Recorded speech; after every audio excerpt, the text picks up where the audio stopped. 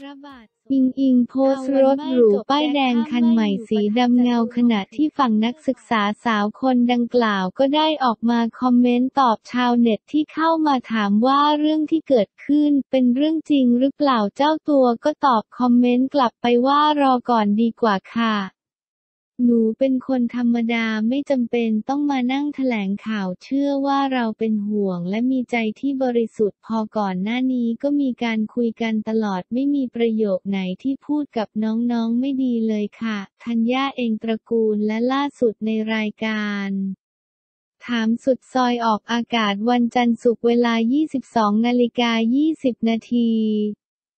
ทางช่องเนชั่นช่อง 22 ดำเนินรายการโดยเอิ๊กพรหมพรยูวะเวสเปิดใจสัมภาษณ์ธัญญาธัญญาเรศเองตระกูลกรณีนักศึกษาสาวส่งข้อความหา น้องลียาจนฉายาเมียหลวงลวงสังหารกลับมากระหึ่มรถป้ายแดง ใช่พี่เป๊กให้ไหม ไม่ได้ถามเลยค่ะเดี๋ยวกลับไปถามดีกว่าอยากรู้เหมือนกันเพิ่งเห็นรูปวันนี้เหมือนกันค่ะ ขอบคุณถามสุดซอย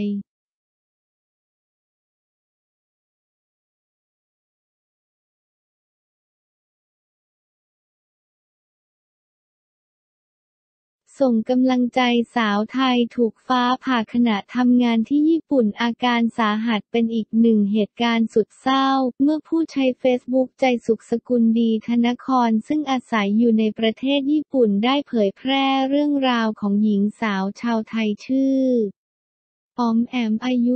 29 ปีเป็นชาวจังหวัดอุบลราชธานี เคราะห์ร้ายถูกฟ้าผ่าอย่างรุนแรงที่ฟาร์มการเกษตรอำเภอโคโมโร จังหวัดนางาโนะเมื่อสองสัปดาห์ที่แล้วจนได้รับบาดเจ็บสาหัส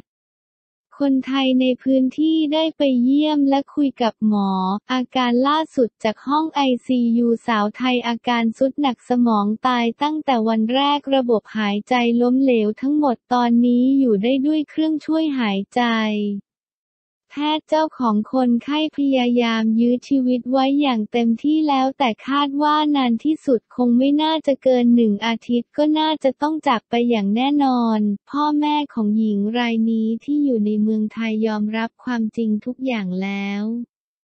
แต่ที่น่าเศร้าคือหญิงไทยคนนี้มีลูกสาวกำลังน่ารักด้วยหนึ่งคน ตอนนี้ทางเจ้าหน้าที่ตำรวจญี่ปุ่นได้สอบสวนเรื่องราวแล้ว ส่วนค่ารักษาพยาบาลค่าทำศพเจ้าของสวนจะเป็นผู้รับผิดชอบทั้งหมดทั้งนี้ คนไทยในญี่ปุ่นกลุ่มหนึ่งได้ให้ช่วยเหลือครอบครัวของหญิงไทยรายนี้ ด้วยการบริจาคเงินเพื่อช่วยเหลือตามกำลังที่ทำได้ พร้อมระบุว่าเป็นเรื่องน่าเศร้า เพราะหญิงคนนี้เข้ามาทำงานอย่างถูกต้องตามกฎหมาย แต่กลับเจอกับเคราะห์ร้ายแบบไม่ทันตั้งตัว ซึ่งทางคนไทยในญี่ปุ่นจะรายงานความคืบหน้าทั้งจำนวนเงินและอาการต่างๆ ต่อไปโพสต์ขอบคุณอมรินทีวี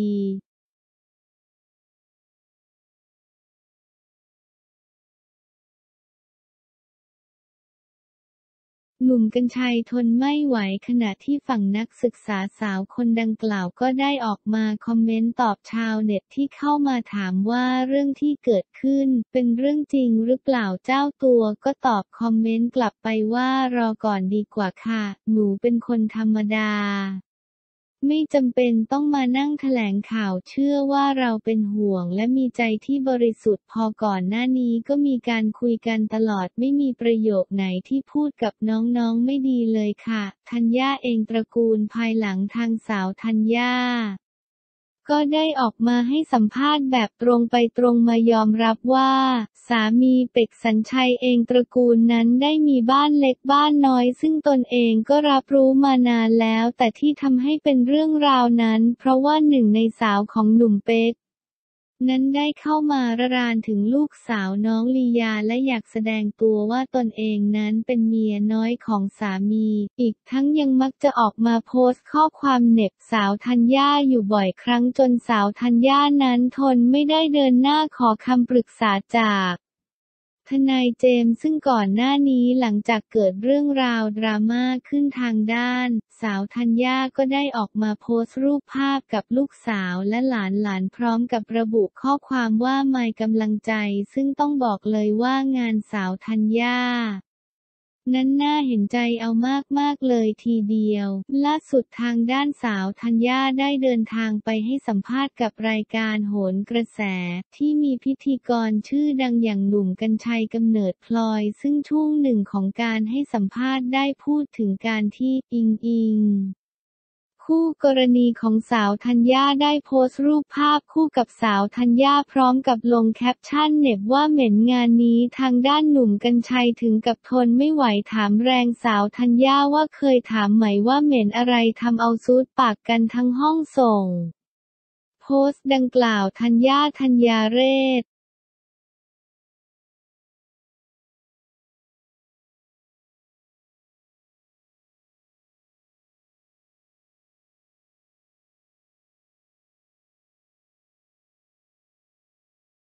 เจอคนจริงธัญญาเผย สถานะล่าสุดสามีกับอิงอิงหลังจากแถลงไปตนเอง และสามีเป็กสันชัยก็ไม่มีการพูดคุยถึงเรื่องนี้กันอีกเลย มีการคุยกันปกติ แต่ไม่ได้คุยในเรื่องราวดังกล่าว ในส่วนของน้องคู่กรณี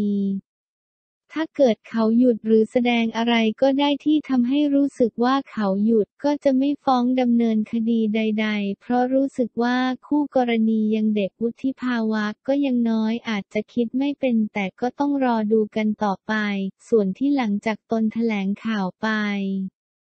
แล้วทางอีกฝั่งก็ยังไม่เบาลงตนมองในอีกแง่ว่าไม่อยากไปใส่ความ เพราะไม่รู้ที่ออกมาโจมตีตนนั้น ใช่แอคเคาคู่กรณีหรือเปล่าอาจจะมีใครที่ไม่หวังดีหรือเปล่า ในตอนนี้ตนเองยุติแล้ว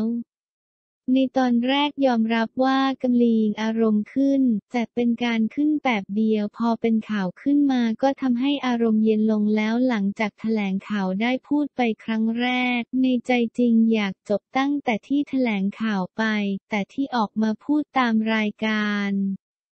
เป็นเพราะความเกรงใจทั้งหนุ่มกัญชัย มดดำคชาพารวมถึงรายการที่ตนเป็นพิธีกรอยู่ เพราะฉะนั้นหลังจากนี้ไม่อยากพูดแล้ว การพูดครั้งนี้จะเป็นการพูดครั้งสุดท้าย เพราะเรื่องนี้ก็กระทบหลายฝ่าย ถามว่าถ้าเขามาขอโทษตนก็ยินดีให้อภัยอยู่แล้ว เพราะว่าก็ไม่ได้เจ้าคิดเจ้าแค้นอะไร เพียงแค่ว่าที่ผ่านมาตนโดนแขวะมาตลอด พอมาถึงลูกเลยอยากให้เขาหยุด เพราะในเมื่อสามีไม่สามารถทำอะไรให้เห็นได้ เลยต้องจัดการเองพอออกมาพูดเครื่องหมายสี่เหลี่ยมทีมทัญญามาเต็มเลย ตนเองก็ต้องขอขอบคุณทุกกำลังใจหลายคนที่เป็นห่วงว่าจะรู้สึกยังไง จะบอกว่าตนชิลมากไม่ได้มีการทะเลาะกับสามีเป็กสันชัยและไม่ได้มีอะไรที่ทำให้เสียใจร้องไห้เลยแม้แต่นิดเดียว สิ่งที่รู้สึกคือเป็นห่วงลูก